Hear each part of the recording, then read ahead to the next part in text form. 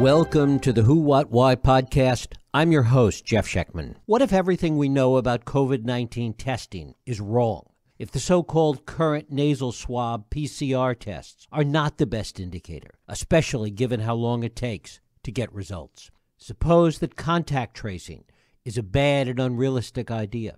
What if there was a way to have made Thanksgiving something less than a national super spreader event? What if the solution to the pandemic was not a vaccine, but simply a different kind of test, an inexpensive, at home, positive antigen test? According to Harvard's Dr. Michael Mina, all of this is true. We had Dr. Mina on this podcast a few weeks ago, but what he had to say was so important, it seemed relevant to have him back. His recent article in Time about all of this has garnered national attention, and his ideas may be finally taking hold in the medical and public health community, and maybe more importantly, in the Biden administration itself. Mina, more than anyone else, may be on the cutting edge of ways to stop the pandemic, even without and or before vaccines. More remarkable, unlike Donald Trump, it does not involve hydrochloroquine, bleach, or the My Pillow guy, but it involves real, proven science and public health practices.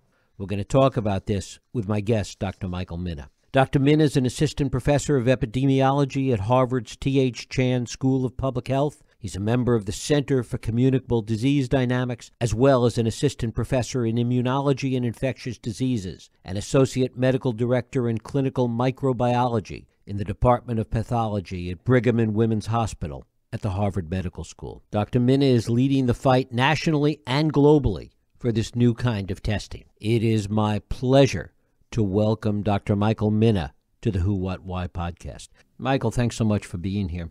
In our last conversation here for Who, What, Why, we talked a little bit about these antigen tests, and you've written about it recently in, in a story that got a lot of attention in Time magazine.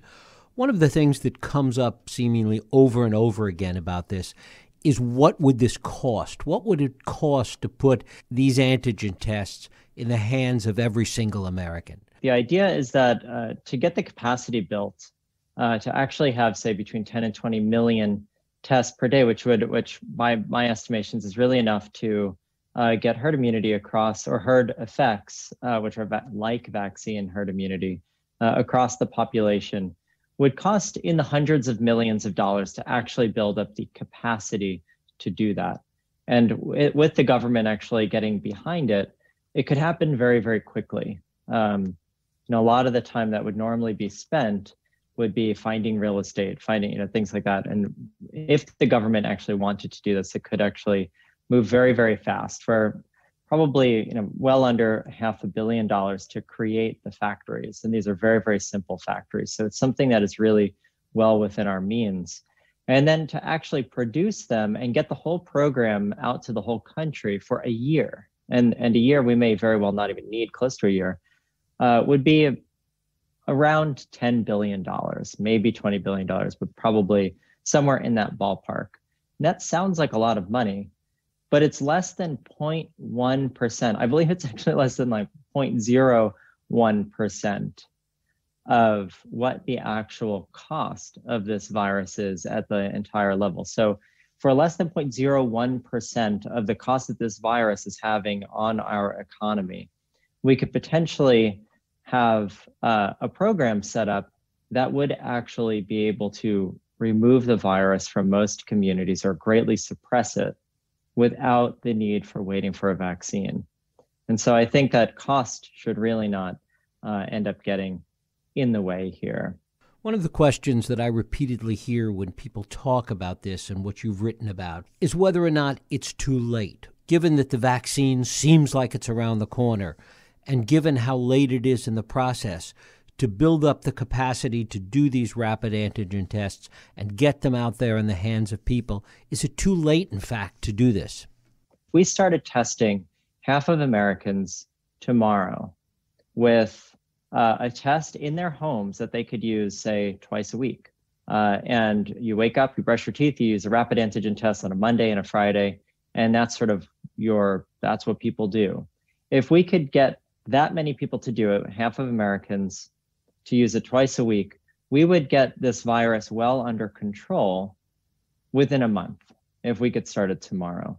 So we could start it tomorrow in more limited areas. These tests do exist. I have packages of them right here. They, they do exist. We don't have them authorized yet for home use because we continue to require authorization as though they are medical uses and we treat every American as a medical patient. But Americans are not patients, they're just healthy people living their life who want to get tested and know that they're uh, safer to go to work or to go to school. It's not foolproof, but it uh, but collectively at the population level, it can greatly reduce population incidence and make everyone much, much, much safer. So a little bit from everyone using these tests ends up causing these herd effects. And so, um, but within a month, we would see a massive drop. We've seen it in Slovakia now, and that's uh, thankfully been sort of reported a bit. Um, Slovakia started this program, and within a week, they took exponential growth and turned it into exponential decay of the epidemic.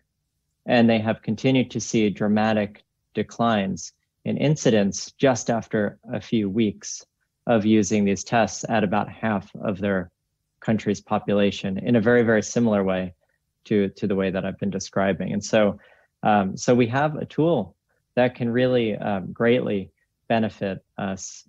Uh, we just have to get the regulatory framework in place to stop treating these as medical problems and allow this test. You know, this is a test that if we were to get these out right now, this is illegal for me to use in my house. Illegal for me to use in my house right now. That's crazy. You know, we we could have these that everyone could use, just like a pregnancy test. Um, we just have to get the federal government to change a little bit, and we all have to feel empowered to do our part in that. Michael, the other confusion about these tests, which we hear over and over and over again, is how accurate are they? How sensitive are they? Are they giving false positives or false negatives? Talk a little about that.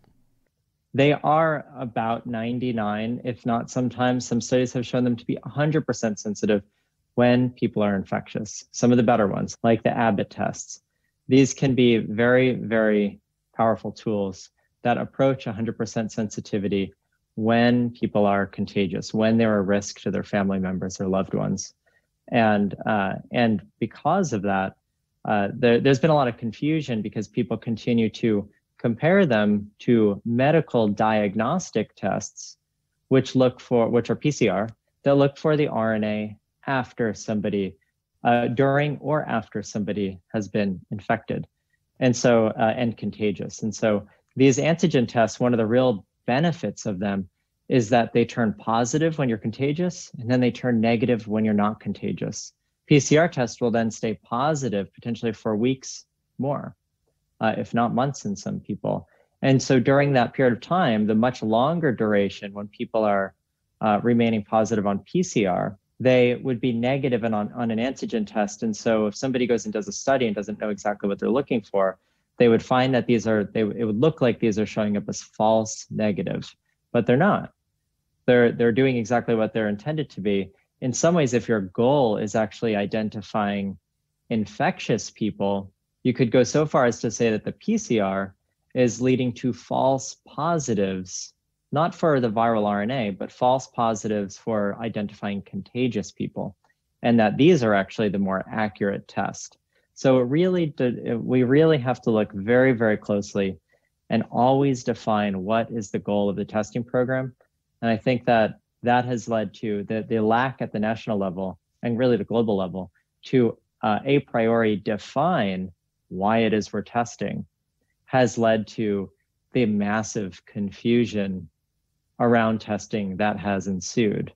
And we just have to define it. Is this a medical test, a surveillance test, an entrance screening test, or a public health screening test? And if we make those decisions and we define them very clearly, then we know how to evaluate the test metrics. But to this day, we still don't really do that. And the FDA certainly doesn't do it. They assume every test is just a medical device. And so the, the point is the tests work, they work really well. They're being used broadly across the world now. The US is just really lagging behind. And part of the effect of that lag is that we have out of control growth With respect to the existing PCR testing, now that we're seeing such explosions in the virus, we're starting to see the PCR testing backed up again with significant delays. What's the consequence of that within the context of the possibility of using these rapid tests? And we're starting to see four, five, six, seven day delays, which frankly makes these high quality PCR laboratory tests complete garbage, completely useless if you're waiting for five days to get a test result back. It's not even worth getting the test. Uh, these, on the other hand, give you results in five to 10 minutes, and you can do them in your house without waiting in any line right after you brush your teeth. You've been talking about this for quite a while now. A lot of it has seemed like whistling into the wind. Suddenly, though, there seems to be real advocacy for the kind of rapid antigen test that you're talking about. Are you heartened by this?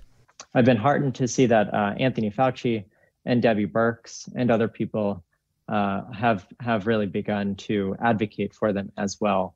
Uh, and Fauci was on CNN yesterday um, saying that he uh, would now really like to see uh, every household have access to these types of tests, and that he thinks that that's one of the best approaches that we can go forward with to tackle this virus. So I think that the message is catching on. The research is certainly there.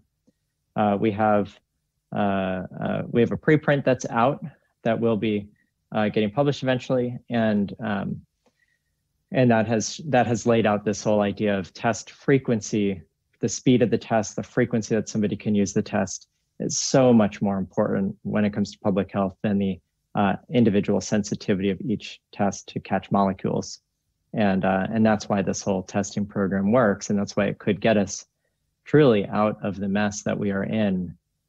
Uh, and I say mess, but really I should be calling it like I've been doing lately, which is calling it a war. This is killing thousands and thousands and thousands of Americans every single week, and uh, and we should be treating it uh, as though it is something that is causing thousands of deaths every week. Do these tests work on both symptomatic and asymptomatic patients? These tests work as well for symptomatic and asymptomatic.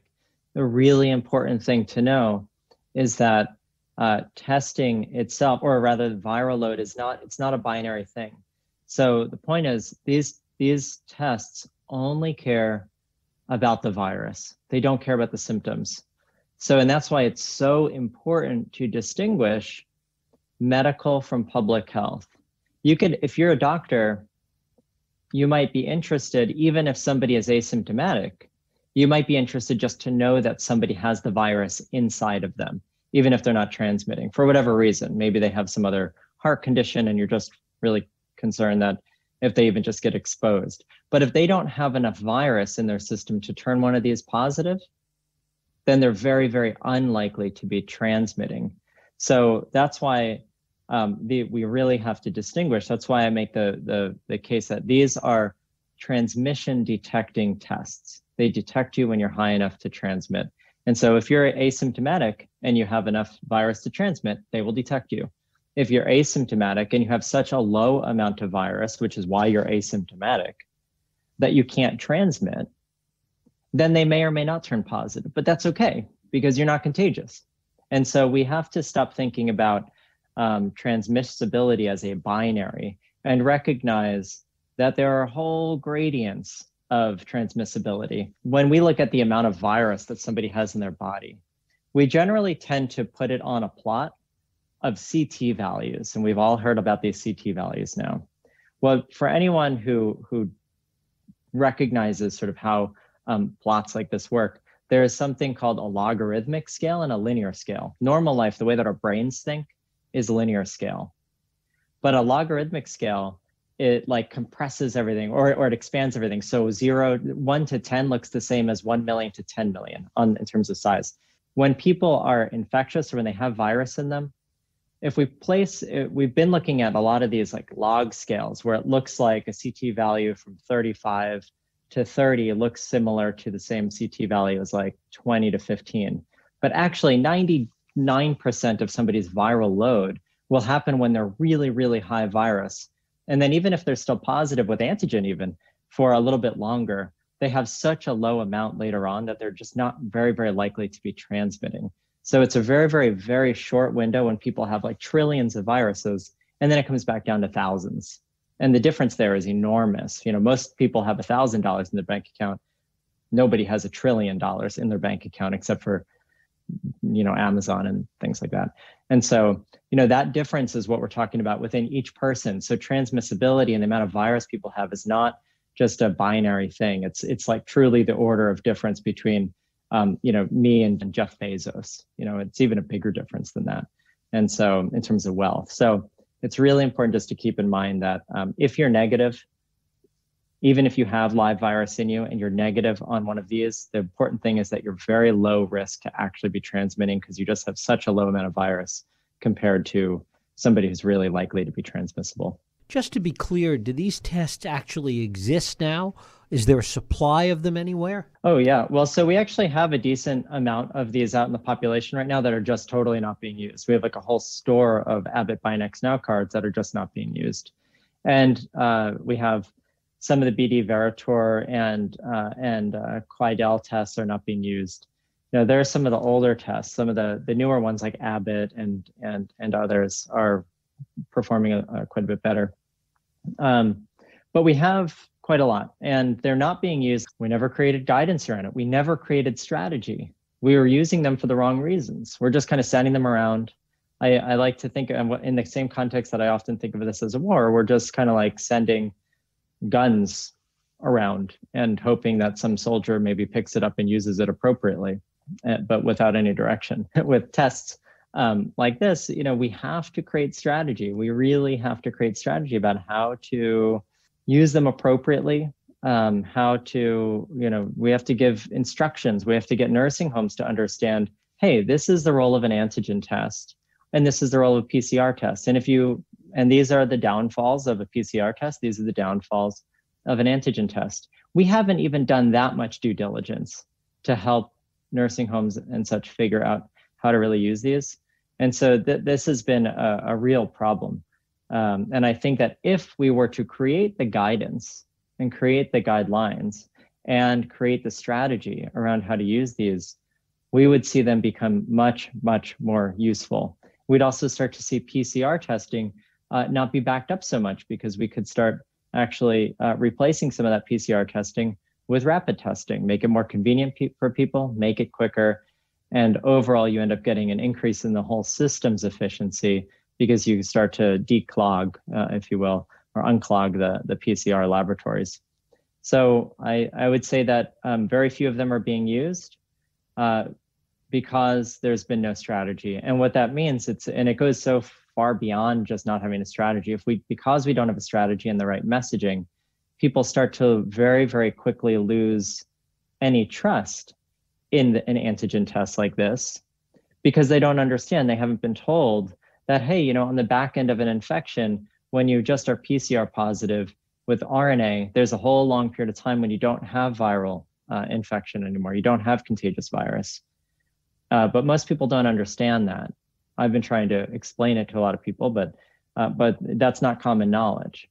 And so, if we don't make it abundantly clear when we give a nursing home these tests, that hey you know this that you might see discordance between your pcr and your antigen test and a lot of times that's okay you know and this is how you deal with it then people lose trust in these tests extremely fast. And that has been what we've seen.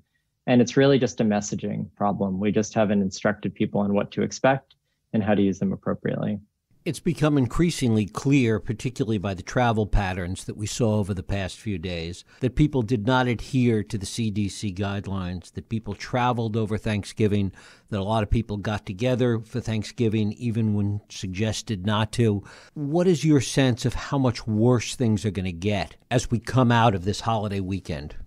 Well, we're in the worst case scenario, um, more or less, because uh, it could be a little bit worse. Um, we have uncontrolled uh, growth of the virus, of course. And so this has been an extraordinarily long year.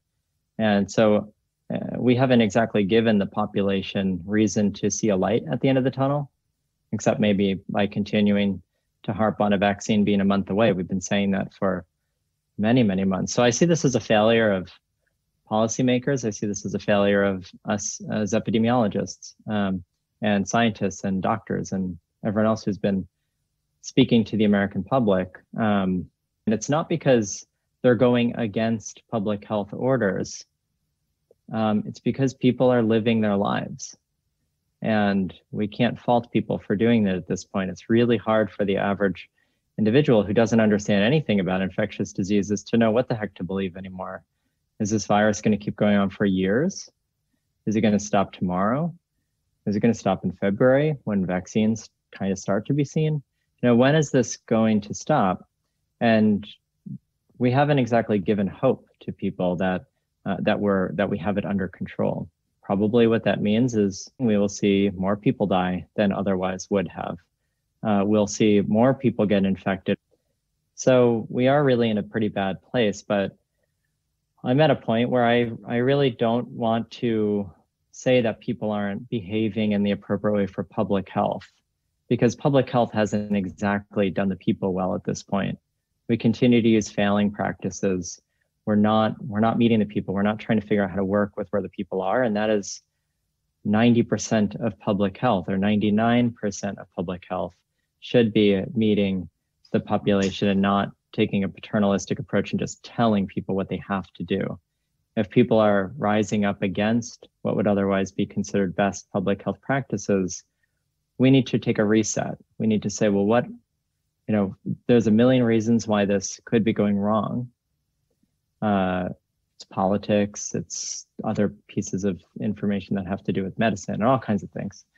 Um, but we have to reset and we have to say, what should we be doing different? And we still haven't done that. We just keep beating the same drum over and over and over again. I've tried to put policies forward or, or plans rather forward that could lead to policies that would be different, that take the average American into in mind and give them tools to help themselves to to to be able to feel empowered. We haven't done that in general as a populace at this point. That's why these tests, everyone, if everyone could have taken these on Thanksgiving morning, it would probably make Thanksgivings across the country much, much, much safer. So I think the end result of all of this is going to be that we will see uh, Thanksgiving break or uh, holiday accelerate cases even more than they've been accelerating. It might um, claw back some of the gains that have been made uh, in some places. Uh, if there are any places that have really made big gains, there's not a lot of them in the country. And we should expect to see a bump in, in probably mortality and, and disease and hospitalizations throughout December as a result of Thanksgiving. Uh, and then the same thing will likely happen in Christmas time. Uh, I think that if we really wanted to make Christmas much safer, we could start today we could start today to figure out how to get uh, testing in place, rapid tests at people's homes, start producing them, work with international partners since we didn't build up the capacity enough in the country yet. We have millions and millions, tens of millions or, of Binax Now cards we could use strategically and, uh, and make Christmas at least a little bit safer. Uh, if not a lot safer, if we actually treated this like a war and actually got the US government fully on board with doing so. Um, but otherwise, I think we're really kind of in for a hard December and January. Michael, you said that some of these tests exists in the marketplace right now. Is there the possibility of getting some of them out there between now and Christmas time? They're illegal. They're they're they're literally illegal right now to use. Um, there, there's no other reason. We just haven't prioritized it. We haven't prioritized a different way to look at this pandemic and the approach to it. Um, we could. It's not a. It's not a manufacturing problem. If we really want to get these tests built in a way that we want, we could do it. Um, you know, we can build stealth bombers and we could build i don't know all kinds of weapons in world war ii you know on assembly lines very quickly we could build up these factories if we wanted we actually threw the weight and might of the us behind building uh, these factories on our soil we could do that in a heartbeat. You know, this is not hard. Have the whole, have the US Army build it all. You know, China was able to build hospitals in, in two weeks. We could do this. I think the the only reason we're not doing it is because we're not doing it. and Fauci, um, Fauci yesterday on on um, Chris Cuomo's show, you know, said something that I was so happy to hear. He just said, let's stop thinking about it and let's do it in response to a question very similar. And that's really all it comes down to. It's not, I mean, if we want to mobilize this country, we can. We have, I mean, this, like, we're literally just talking about getting a tube of pieces of paper uh, out to every other household in America. That might sound daunting, but it's not. We have Amazon going to practically every house in America. We have the US Postal Service going to pretty much every house in America or, or every house in America. And so, um, so we just have to act. We have to want to tackle this virus. And so far, we haven't wanted to deal with the virus as a country. We've wanted to sort of deal with it in in ways that are not working and then not think creatively about how can we actually come up with new ways that are working and put those into action and so much of it is certainly at the highest levels of politics and, and government the inaction is literally killing americans we hear over and over again with respect to testing that it kind of goes along with contact tracing that they go together kind of like a horse and buggy to what extent is contact tracing meant to be or not meant to be a part of these rapid antigen tests? My colleagues will, a lot of them will disagree with me. Um, but I get the feeling that that's because a lot of people just aren't maybe bold enough to buck the trends. Um, but contact tracing isn't working. It's we keep putting a lot of effort into it, for sure. But I actually think the insistence on contact tracing and making that a key cornerstone of our response is part of the reason we're in the problems that we have right now. Um, we have to recognize, we have to adapt if we want to tackle a virus like this. We really have to adapt and we have to recognize when something's working and when something's not. I have yet to see any evidence that contact tracing does more than just barely dent uh, the epidemic. And we, uh, Massachusetts is a great example. And uh, in Massachusetts, we have some of the best contact tracing in the country. We have some of the best operations with Partners in Health and other groups. We have some of the best testing, some of the fastest testing, and the most expansive testing programs in the country. But even here, and we said that contact tracing can only work when cases are really low. And so what we've seen is that we had cases really low. We had some of the best contact tracing in the country, and we had some of the best testing in the country in terms of turnaround time. And even still, contact tracing failed. And so it continues to boggle my mind why we continue to try to use this strategy that is just not working. Now, is it bad if it's not sapping any additional resources away from other potential avenues? then great. Every case counts. And we know that contact tracing captures a fraction, a small fraction of actual cases. And so it can be useful along with everything else. But if it's using up any of the resources that could go to other more efficient programs, or if it's distracting us from thinking up more efficient programs, then I would say that it's probably not worth it uh, to really be putting a lot of energy. And we all said, you know, it's it's strange we all said that contact tracing doesn't work when there's a lot of cases. Every epidemiologist, I feel, said it. We've always known it. Yet we don't do a good job at listening to what we know. You know, we keep thinking that we don't know anything about this virus and we just keep beating our head against the same wall and expecting that, you know, our headache will go away. Like, no, it won't go away. It will get worse. And and so we really have to uh, we really have to uh, try to look around and take a very critical uh, view of of what's working and what's not working. And I would say that right now, with cases out of control, ramping up contact tracing is spinning our wheels. We know that there was a there was a, a, a JAMA paper a couple of weeks ago that looked at contact tracing in San Francisco, another good place for contact tracing, of 800 plus people that were that were positive and contact traced they only found about 120 additional cases. So that's good. Every case counts. But we know that of those 800 people, they probably went on to infect something like 11 or 1200 people on average. And so it's great that they found 120, but they maybe missed a thousand. And so it really shows that, and, and of those 120 that were discovered, it was probably too late. They had probably already transmitted the virus yet another round. And so they were just, we're always behind. And so I think we really have to take a very hard look at what our policies are, what, where we are placing our resources and decide is contact tracing and isolation really the best thing to rally around as a cornerstone of our response? Or should we think of new and creative uh, avenues to use testing uh, more efficiently?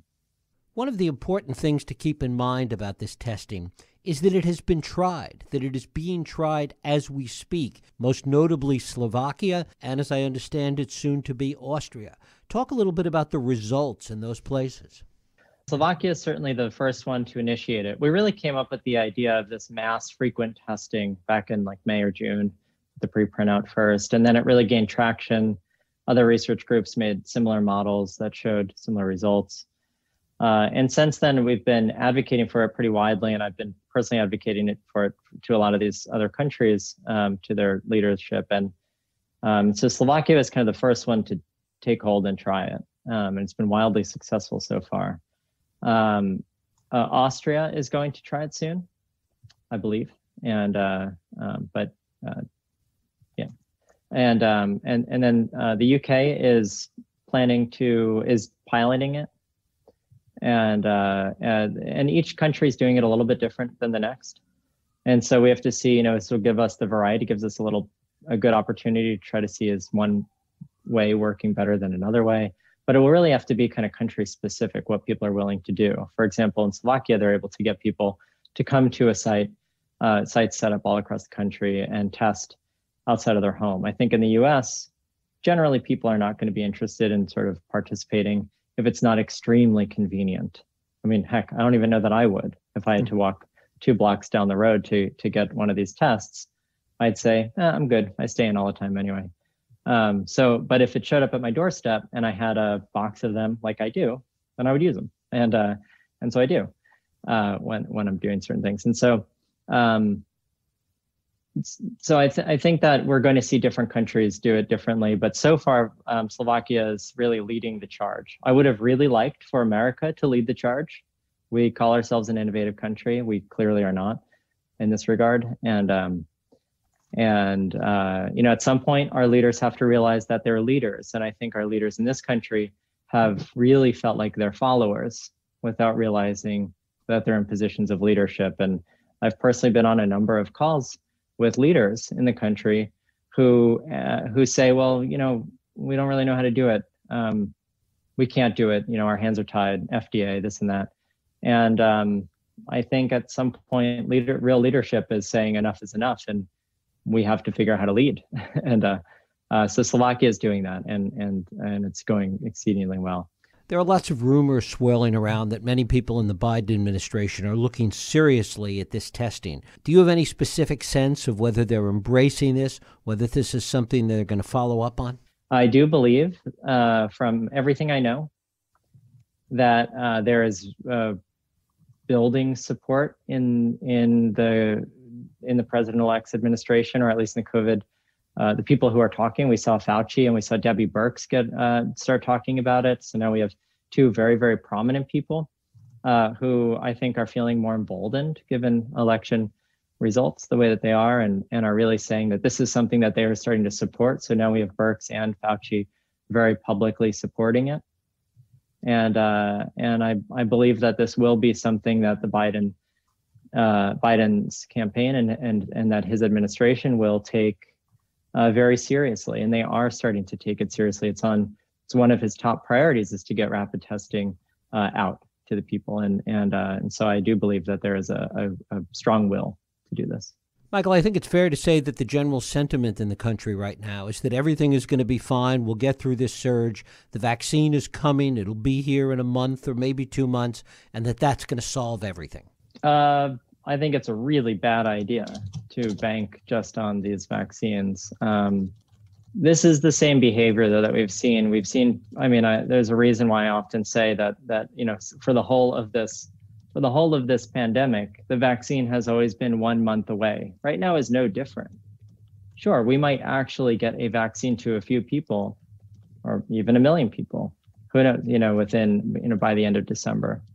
Um, but that doesn't mean that uh, this is going to be the game changer that we need to stop spread you know anytime soon. And i think all signs point to this not becoming widely available at least until you know early spring of 2021 we'll start to see it ramp up more and more but remember 7 billion people may need this vaccine. Now we can allocate it very well. We can allocate it efficiently. If we can get it to the elderly individuals first along with first responders then that's the most beneficial way to use this potentially. We don't know though if the vaccine is going to have really durable long-term effects. We have no idea. We just don't. All of the all of the vaccine results we've seen so far have been the short-term effects of the vaccine when when the cells that produce the antibodies, the temporary cells that produce the antibodies are still floating around, but those those die off after 2 or 3 months. And so it could be that all these efficacies that we've seen in the 90 percentile those are maybe really high compared to what will turn out to be uh, at, at month four, five, and six, and seven. And so we have to be really careful about how we're considering these vaccines. We also don't know is it really going to do well in the people who need it most? Elderly people don't tend to respond to vaccines well. My hope is that it will respond, that people will respond well to the vaccine, that they'll get immunity, that they'll get enough protection, at least that they don't die if they get infected.